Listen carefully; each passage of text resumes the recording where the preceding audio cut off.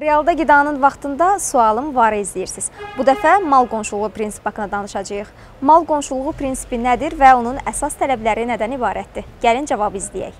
Bildiyimiz kimi, insan sağlamlığına mənfi təsir göstərən amillərdən biri aşağı keyfiyyətli qida məhsullarıdır.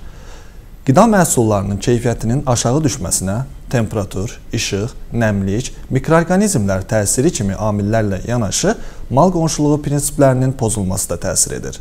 Mal qonşuluğu prinsipləri deyildikdə, eyni mənşədən, eyni növdən olmayan qidaların bir-birinə təmasda olması nəzərdə tutulur. Ərzaq mağazaları, market və supermarketlər, ictimai iaşə müəssisələri ilə bərabər məişətdə də bu prinsiplərə əməl olunmalıdır. Soyuducuya yığılan çiğ qidalar ilə bişmiş və bişməmiş qidalar bir-birindən fərqləndirilməlidir. Çiğ qidalar deyildikdə süd və süd məhsulları, ət və ət məhsulları, yumurta kimi məhsullar, Bişməmiş qidalar deyildikdə isə meyvə və tərəvəzlər nəzərdə tutulur.